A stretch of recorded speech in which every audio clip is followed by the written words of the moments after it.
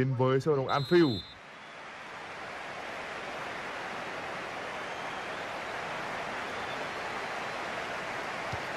Đã có tín hiệu bắt đầu trận đấu từ trọng tài.